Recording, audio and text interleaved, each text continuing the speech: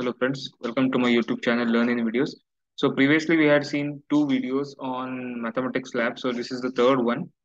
So if you want to check the previous two, you can go and check in my playlist. So in today's video, we are going to see find the angle between the radius vector and the tangent, angle between the two curves. So now the angle between the uh, uh, so now the angle between the radius vector and the tangent of the curve. So they have given an equation that is r equal to a into 1 plus cos t. Okay, and they have specified that t value is pi by 3. Okay, they have specified t value as pi by 3. So now we are going to import the package SymPy. Okay, import from SymPy, we are importing star. That means all the modules will be imported in our program. So now we are defining a and t as symbol. So in the previous video, I have said about the symbols. So a and t, we are importing it as symbols. So a and t will be considered as symbols for our mathematical expression in our code. So now I'm defining a variable r and I'm uh, passing it uh, like and I'm giving the equation that they have given to me. That is my question. a star into 1 plus cos t. I'm keeping that in a r variable. Okay. So next, I'm differentiating this r with respect to t over here. You can see DIFF is a method that will differentiate for me. So it, it is, we are differentiating the r. So what is r here? The expression that is 1 plus cos t and a sorry a into 1 plus cos t and I'm differentiating with respect to t. Okay.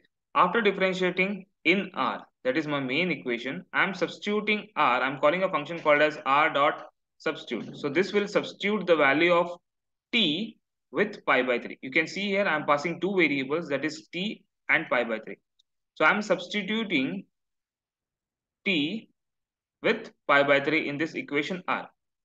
So if you want, we can do an exercise. So I'll comment, I'm removing this comment and I'll comment on the previous sections. So we'll see what will be the value of it. Okay. So now you can see over here. You can see over here in the first equation what I'm doing. I'm doing a into 1 plus cos of pi by 3. So instead of t, I'm replacing it with pi by 3. And whereas in this r is equals to r dot substitute, I'm doing I'm substituting t with pi by 3. Both are one and the same. So I'm printing that the printing my equation with pi by 3 and printing my variable r. Let us find whether both are getting the same answer or not. Yes, we are getting same for the both one. So that means we are replacing pi with, sorry, we are replacing t with pi by 3. I'll recommend this. We shall proceed now.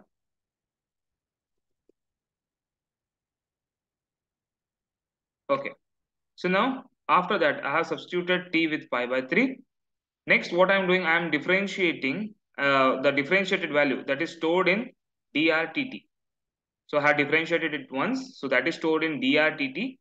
So now this differentiation dr by uh, dt. So I'm substituting this with same t is equals to pi by 3. So I'm substituting the value pi by 3 which is given to me in the question. The t value is pi by 3. So in this also I'm substituting and I'm storing that value in dr dt. So next I'm taking a I'm calling it a variable phi.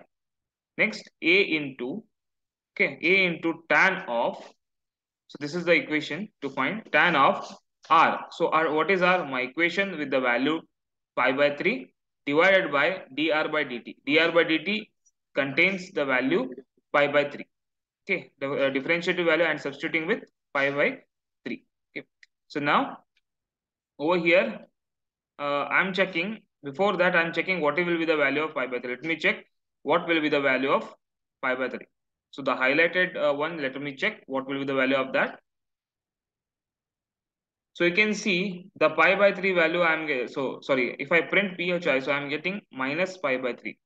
So now in this, uh, like uh, this is an if statement, I'm checking if phi is less than 0. Okay, that is the value that is uh, highlighted in this output. If this value is less than 0, then what I'm adding, I'm adding that with a variable pi. Okay, I'm adding with that pi. Okay, so at the last, I'm printing that phi. Okay, I'll run this. Okay, you can see over here the angle between the radius of vector and tangent is 2 into pi by 3. 2 into pi by 3. Okay, so this was for today.